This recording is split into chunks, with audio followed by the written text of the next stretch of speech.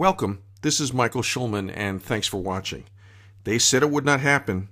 The American consumer would never change. They would always max out their credit cards, buy a lot of stuff, go to a store and buy storage for that stuff, get a bigger house to store that stuff, and then go out and buy some more stuff. But it has happened. The American consumer has changed. And Wall Street, no surprise here, has missed this change big time. Please do not miss this. I call this change the new frugal. It is an investment thesis, one of 10 core investment theses that serve as the basis for my view of the market. The new frugal has already produced wonderful returns from names ranging from Ralph Lauren to Dollar General, the polar ends of the consumer market. Perhaps the biggest change in the American consumer, this new frugal, is a secular change in shopping trends in the US, something permanent, a change that is altering the spending habits of all consumers. This quiet but enormous shift began during the crash, continued through the Great Recession, and it is not just a matter of people spending less. Yes, people are spending less in real terms, but they are spending more on fewer items. They are being more selective where they spend. They are basing their decisions on customer service and the perceived quality of a brand and its products. The new frugal consumer spends good money on high quality brands.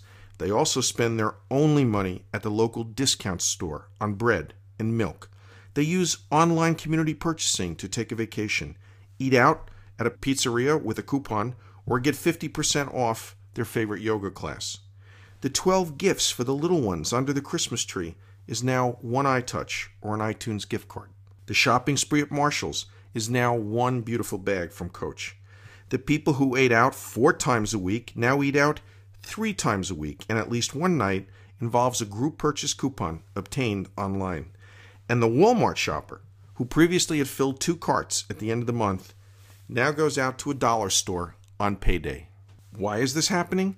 From 2002 to 2008, the entire growth in consumer spending in the United States was matched dollar for dollar with drawdowns in home equity lines of credit. The party ended with the post Lehman Brothers bankruptcy crash and is not starting up again anytime soon. This exhaustion of credit, massive unemployment, falling wealth, remember Americans have lost $13 trillion in net worth since 2008, have all reduced and changed how Americans spend money.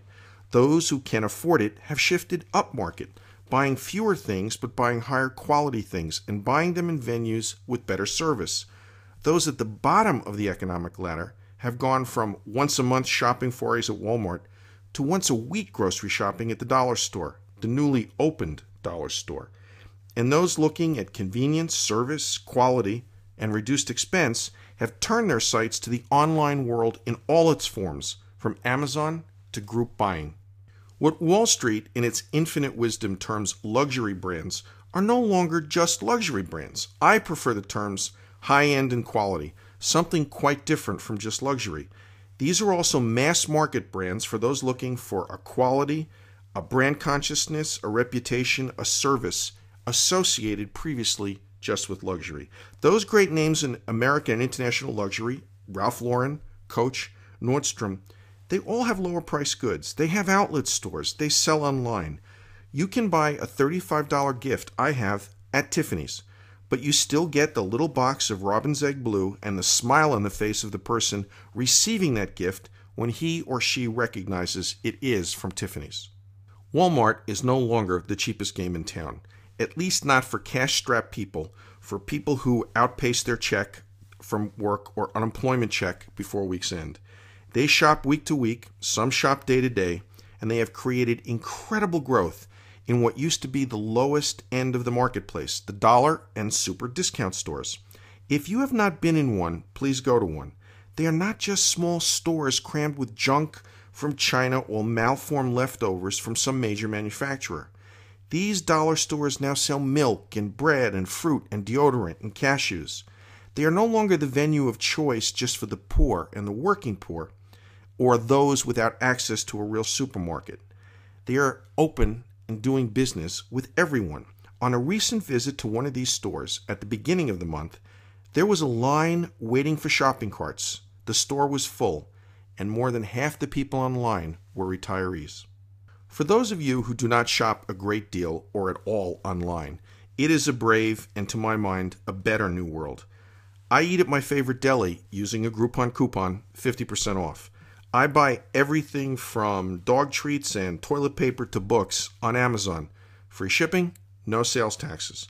One of my sons just bought his winter parka at Land's End, 40% off, one day only, at the website only, free shipping. I just spent monies on 40 holiday gifts via Amazon for someone collecting toys for a party for little kids, possibly looking at an empty Christmas. Again, no shipping charges, no sales tax. Who drives anymore to Staples to get their ink for their printer? The great high end names are what you think they are. I put them in a luxury basket and view them as one whole position Coach, Nordstrom, Tiffany, Ralph Lauren. Great growth prospects, great charts. And then there is the great upmarket retailer and upmarket product manufacturer no one ever puts into those two categories. A company you may have heard of called Apple. Apple stores will generate more than $5,500 per square foot in revenue this year. The next closest retailer in the US will generate a bit more than $900 a square foot. End of discussion. Even though the stock is seen by some as quite high, it's going much higher. The low end names you need to look at do not start with Walmart. Walmart is a dead stock, a company losing market share every week with no plans to jumpstart growth and using price and price alone to hold on to market share. They're getting hurt by the dollar stores, with 2,500 new dollar stores to be opened in 2012, while Walmart is opening just 50 small footprint stores. To me, that is like bringing a knife to a gunfight. The pick of the litter among the dollar stores is Dollar General. They opened 625 stores in 2011. Same store sales growth is north of 5%. They remodeled or moved 575 stores in 2011. They are on a roll. And so is Costco. Costco does not cater to discount buyers. The company caters to smart shoppers and small business, the heart of the new frugal. For those who have credit and can stock up once a month, Costco has easily surpassed Walmart as the store of choice. About the online world, don't bother yourself with details. The only online play that is not vulnerable to another online company is Amazon. It's the best site, it has the best service, the best product selection, and as a company, the best growth. Sign up for free shipping for $79 a year. You get a family of instant videos almost as large as those offered by Netflix. You want to return something? Print out the label and they pay for return postage. Do you want to buy a low cost toy for that above mentioned children's party? Type in paint set, select free shipping only, rank by price, and read customer reviews about the product. Well, there you have it. And yes, that is me, Digging peat, on the island of Islay, off of Scotland, as part of my duties working in a distillery for a week, a 50th birthday gift from my family in a country that manages its own currency, right now a very beautiful thing. When I am back at my day job, this is what I do. I dig, I dig again. Online, the malls, at the outlet malls, at the strip malls, at the warehouse clubs. You got to do it in person. And here I am in another whiskey sitting, enjoying the success of all that hard work. In the coming weeks, I will continue to bring you my dig and dig again research, and you too can enjoy that success.